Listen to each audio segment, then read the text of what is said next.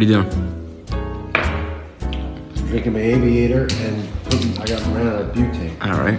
Show us how to fix it. All right. First thing is I'm gonna purge this. Okay, purge it. Excess. Anything that's in there, we'll let it out. Take this Okay. butane, take your shake, And shake it up. and we're gonna. There you go. Nice and slow.